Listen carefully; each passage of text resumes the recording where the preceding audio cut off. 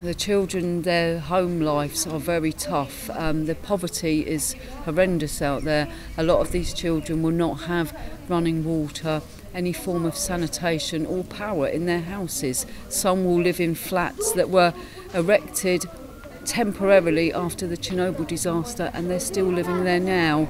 So it's everything we can do to help them and the most important thing will be to give them an immune system. They have no immune system because of the radiation, but four weeks in our country will build that up. Unfortunately, in time back in Ukraine, it will drop. The levels will drop again. But if it, if we can get them through two or three winters, warding off coughs, colds, which would you know otherwise make them very ill. Ну, мабуть, на те, що тут Ми вивчимося іншої мови, будемо знати англійську мову і все-таки я буду пишатися тим, що я була в Англії. Буду пишатися, що я вивчу добре англійську мову, те, що я побуваю в Англії і, ну, і все. Зустріну Нових друзів. нових друзів. В Великобританії набагато частіше, ніж в Україні. Тут е, е, люди всі жартують веселі навіть е, ну, в різну погоду. Коли е, голодно і жарко, вони всі жартують, сміються, дружать між собою.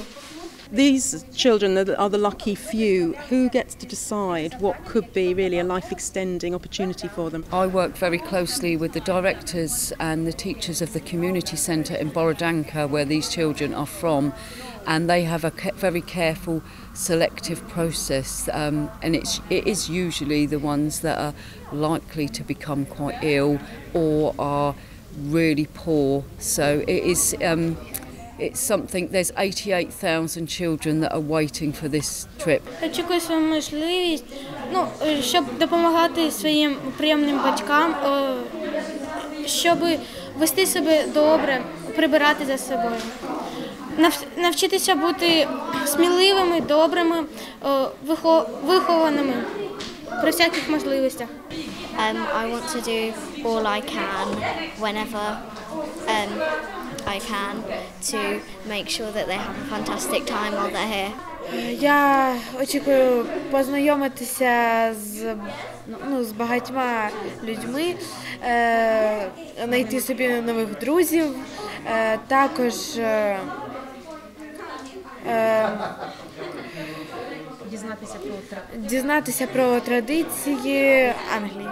When we had our girls, it was a couple of years ago. Uh, when they went home, uh, we had uh, big suitcases full up.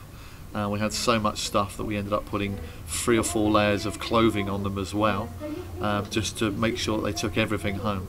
Uh, when when one of them got home, she skyped us back to show us her sister running round wearing the new clothes that she'd been given uh, and showing them off. It was a, a really really wonderful uh, feeling for all the children, all our kids to see, um, and it made us feel really really good. If you have spare rooms and that, do get a child because they're so fun to have and you get to learn new things about Ukraine and their culture. We've been doing it four years, and it's it's very rewarding to see the kids enjoying themselves over here in, in a nice, clean environment. and becoming much healthier as well. And I just love children, so it's nice to have somebody else's for a few weeks and then hand them back.